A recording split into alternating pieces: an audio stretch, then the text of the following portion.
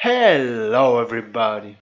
This video will show you one of the best items you need in order to hunt like a pro in Red Dead Redemption.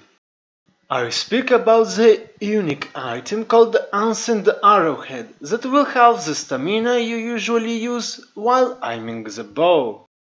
You might notice that the stamina consumption is too fast while aiming the bow and this can be a problem if you want to preserve the quality of a skin if you find a 3 star animal. It's already hard to get 3 star pelt because you need to shoot animals in the right spot with the right arrow.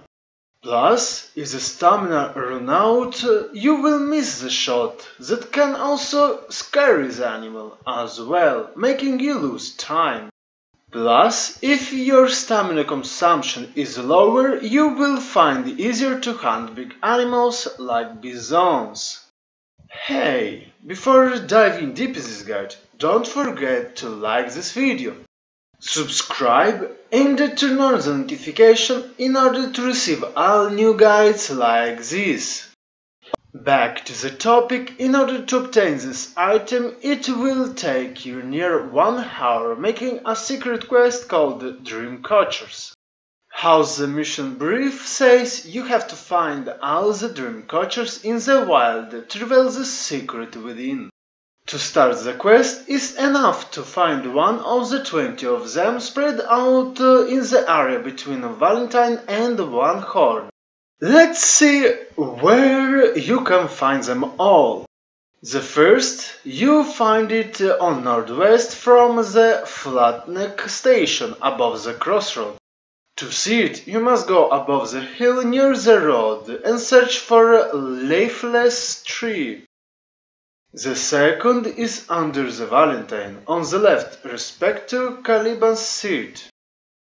This one is nearby the crossroad, on the road going to the left. Once you're in the right location, you can see a loneliness stone, from which you need to reach the edge of the forest, where you will find the tree with the dream catcher. The third is located under the first E of Valentine name on the map. From the main road you can see a secondary one that going through the forest.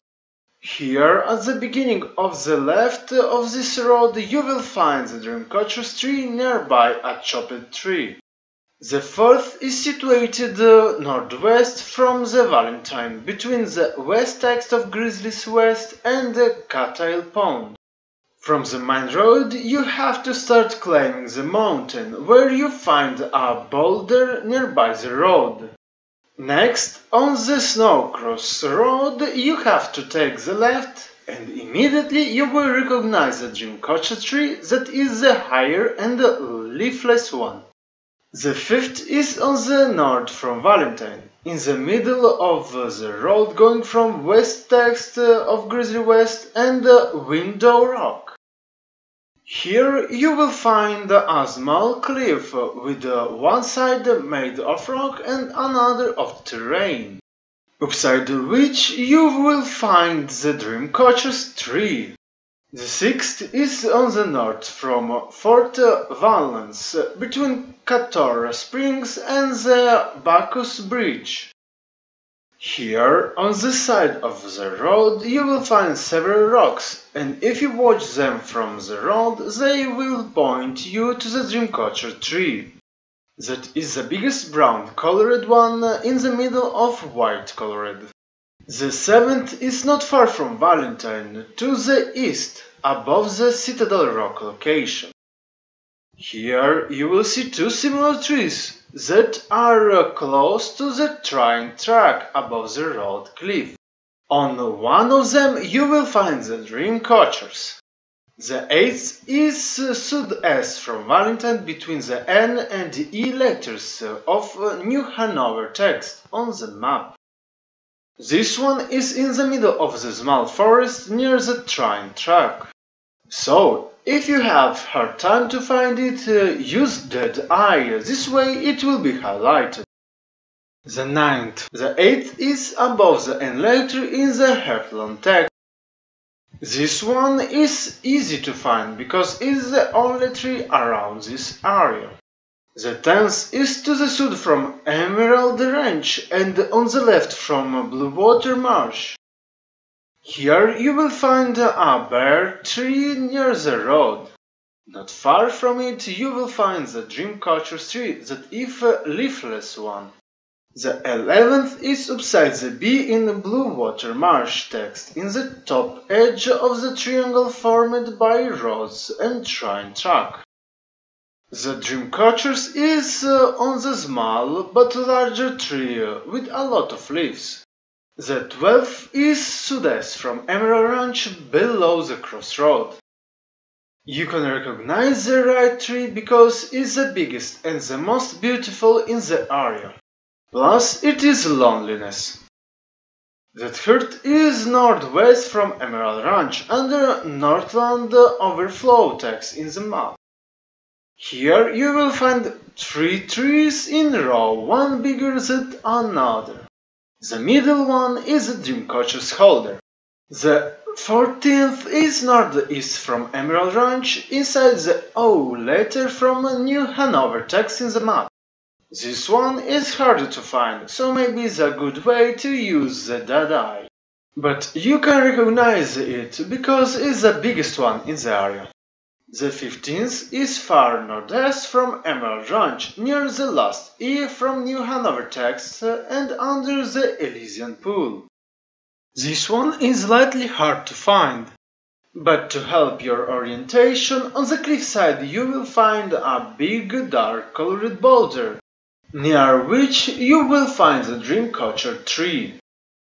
In case you have some troubles to find it, I remember that you can use the eye in order to spot it easier. The 16th is northeast from Elysian Pool and below the Annesburg text in the map. Here you can find a small burned forest on the side of the road, while on the opposite side there is a Dreamcatcher's tree. The 17th is slightly below the letter of Annesburg text in the map. This one is on the edge of a cliff and is a white colored tree in the middle of classical wood colored one. The 18th is uh, exactly above the second and letter in the Annesburg text in the map. This one is easy to spot because it's nearby the crossroad plus is the only one that is leafless. The 19th is on the north from Annesburg text nearby the Kamassa River. This one is harder to notice, but if you was able to spot near the road a border that rises from the ground, you will see that it uh, pointing uh, at the Dreamcatcher tree. The 20th and the last one is northwest from Annesburg and northeast from letter O of the Ambarino text in the map. Here you can find a watchtower on a cliff, at the foot of which you can find the Dreamcatcher tree that can be recognized because it's only leafless and a barred tree. Once you get them all, Arthur will draw in his diary a bison using a Dreamcatcher's location. Inside the drawing, where must be the bison's nose, you will notice a X sign. On the map, you can see that this location is the Elysian Pool. Means that it's time to discover the secret and complete the mission. To do so, get to the Elysian Pool waterfall and enter inside it. Here you will find a cave inside which I suggest you to use your lantern, because if it's night you can see where to go. Here you have just to follow the orange water. Careful at the entrance uh, to not fall down. First go to the left and you will get inside a cave huge area.